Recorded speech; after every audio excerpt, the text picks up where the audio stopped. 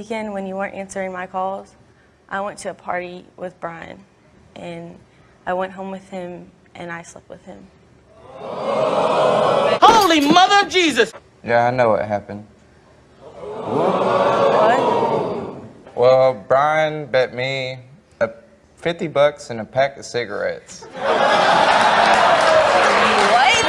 Holy Mother of Jesus! that he could sleep with you. So now I'm down 50 bucks and a pack of cigarettes. Holy Mother of Jesus! Why would you do that to me? What can I say? We pimped them hoes. I don't know what you heard about me. But a bitch can't get a dollar out of me. This is a certified hood classic. To this day. To this day. What's the difference between simpin' and pimpin'? That's funny. Um, well, I don't. Mm, it's kind of the same thing, to be honest. What life? Um, those are literally two opposite things. Simping is uh, when you are the basically the customer. Pimping is when you're the supplier. Have you guys ever wondered how women control and manipulate 90% of men and simps? I want you guys To look at the thing between her legs. Can you define seduction? Yes, me. Three month. Well, when I was young, I came up with the three month. I think now that we older, What? it's what? more. If more, I want to to talk about that, right? I want to talk about young Jasmine developing this mindset, right? Uh-huh. Like, what made you say three months? Like, what? I, I noticed that after two, three months, I could only fake like you know I'm celibate. I, you know I'm a virgin. I could only fake like, you know, I'm celibate. I, you know, I'm a virgin. Um, even though I had a boyfriend or whatever at like 15 or whatever the Mhm. case was that I was doing, these people I was able to still play that mo- up to like two, three months, and Emotional damage! and they got too like, but I really like you. And just because these girls have a fish hole, they thought I could be manipulated. I believe stuff too, but under because I'm gonna get something out of it. You know, either I'm gonna believe this lie, I'm gonna get some good. I'm gonna play dumb, get a shopping spree when I wake up. Like life is gonna go good for me after you tell this dumbass lie. You know, I'm about to do you in right after this. You know. Stop it! I came across this girl's dating profile. She says, We'll get along if you like to travel. At first, I didn't pay any attention to that. Then she tries to set me up. Read this, blah, blah, blah. Except when I'm traveling on vacation, that's the only exception. Any travel plans coming up? Red flags. She's looking for a rich man to supply her lifestyle. So, I had to use my Asian power, my Asian genius, to come up with some zingers to deflect it. And I said to her, Sweetheart, here's a Wilson basketball. Now take three steps. And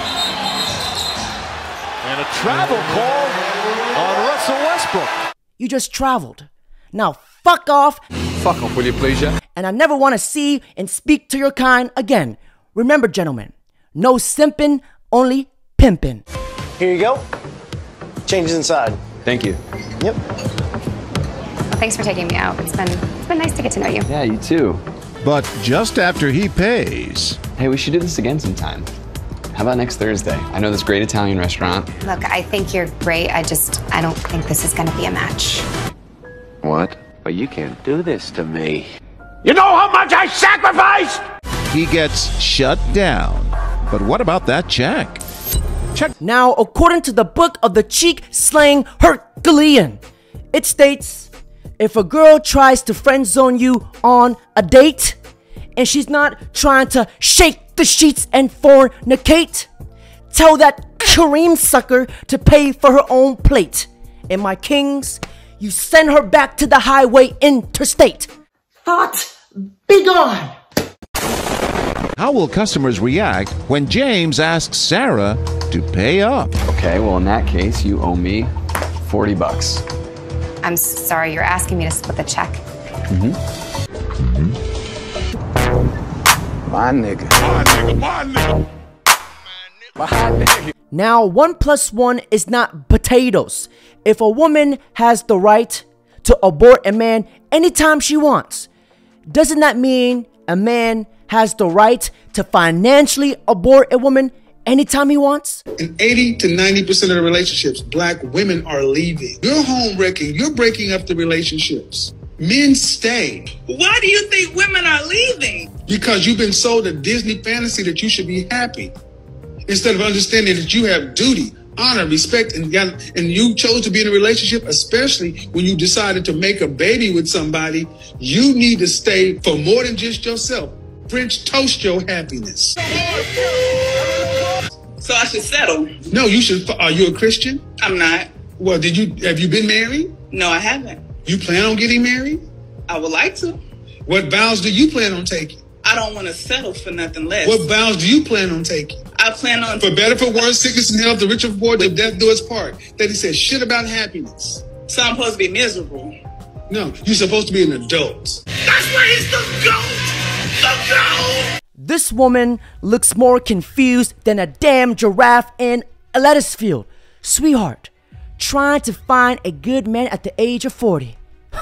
You probably have a better chance reincarnating and restarting life over again. As, as a matter of fact, it is getting so bad that I had to drag a female therapist to talk to you guys today. Now, Lori, may you come preach to the gospel. Help us here. Lori is here. She is the author of Marry Him, making the case for settling for Mr. Good Enough. Lori, look, feel my pain for a second. There are a lot of lonely men out here who are good guys.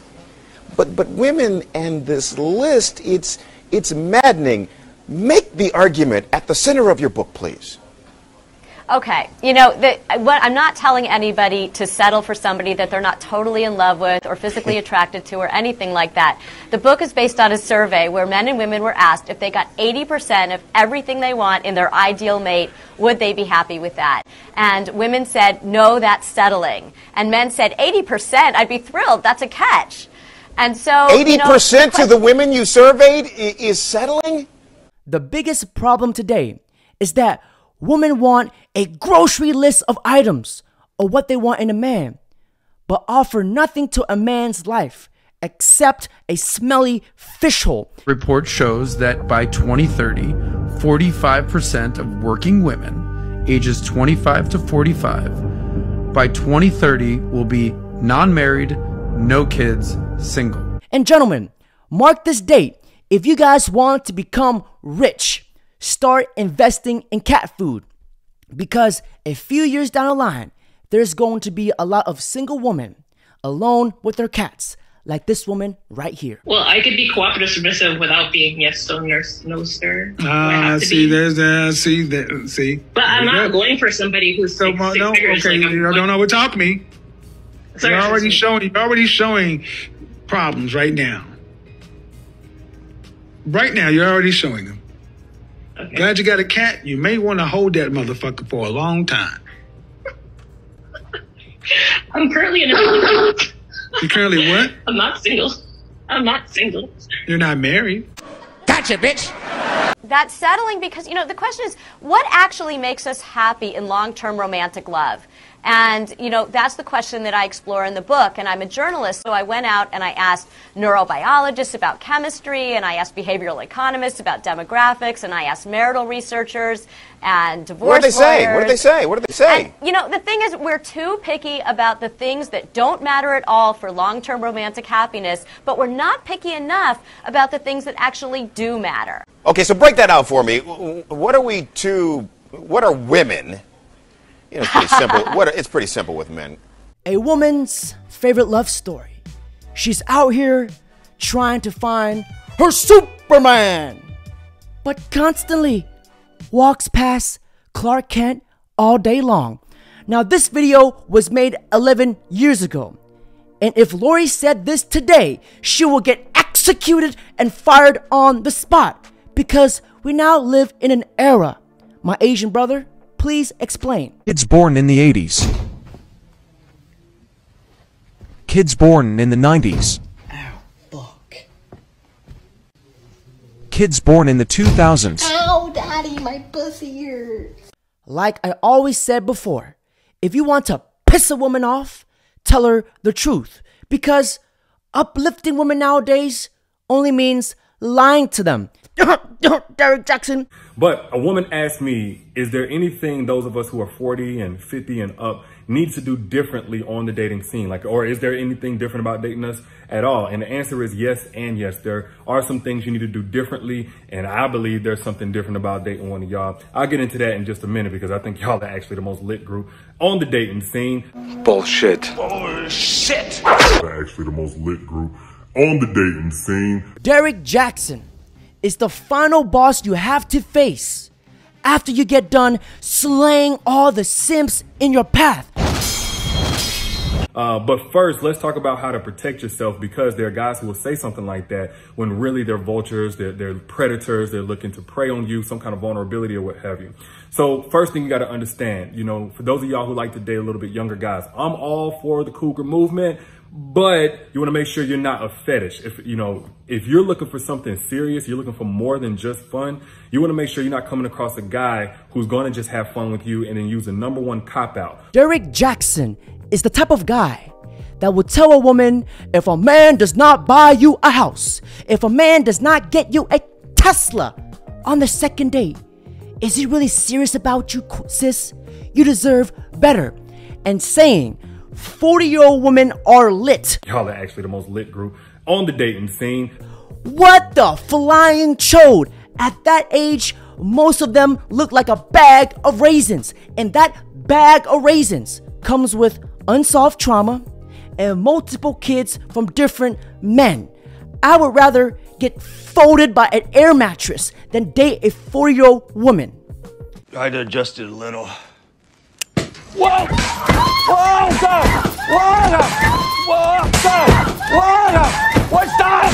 Stop! Whoa, stop! Unplug it! Oh my God, what are you trying to do to me? You cannot make this shit up. This is living proof that you can be tall, muscular, and buff, and be an absolute fucking beta male. And gentlemen, no matter how many times Derrick Jaxn gets exposed about his lies, women still believe him. You know why? Because it makes them feel good. You know, that's what trips me out. It's like we say women got the unrealistic expectations, and some of them do. But ain't nobody got more unicorn, fairy tale, Dora the Explorer expectations of the opposite sex than us, men. Again, some women do expect a man to be six feet tall and make six figures and have a six pack abs, and that's unrealistic for most men. But I know like 10 dudes already that fit into that category. All you gotta do is have a good job and some good genetics, and you're straight. But look at us. Like, how, how what do we expect of a woman? She gotta be a virgin, but she gotta be a freak. She gotta pay half the bills, but she gotta do 100% of the cleaning, the cooking, the child raising. She gotta be exhausted from all of that, you know, all the cooking and washing and cleaning and all that good stuff, and still be horny enough to meet our sexual needs. And get a good night's rest, but also wake up in the middle of the night in case we want some head and a turkey sandwich. Whenever you guys see a man throw another man under the bus for a woman, you can never trust those fuckers because everything Derrick Jaxn just spilled, it's a whole bunch of giraffe shit. Because when a woman comes to the dating market, she's like, a man's gotta make six figures. Is there a number that stands out to you as like a decent salary? Like something that you would be like, okay, he needs to make this much money. If he's not ever making more than, let's say, $100,000, then I would be a little bit worried about our future. I would say somewhere between uh, 400k to wherever. Like, there's no bar. Yeah, somewhere around 80 to 100K in your mid 20s. You are so in denial. You need therapy. He's gotta be six two. More like these girls make me sick to my stomach. Hey, you funny and all, but like, you a midget. I can't do it. I'm sorry, baby. It's the height, but we could be friends. We could, you know, we could kick it. You know. You already know what I'm, I just said. You know, y'all have to pass. I'm sorry, but you know, you know, pass. I almost feel bad. I'm past. I ain't even get on your toes. I'm just passing. I know I'm sorry.